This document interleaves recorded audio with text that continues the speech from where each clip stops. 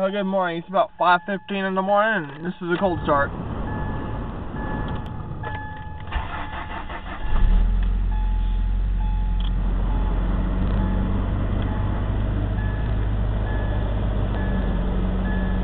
Well, that was easy.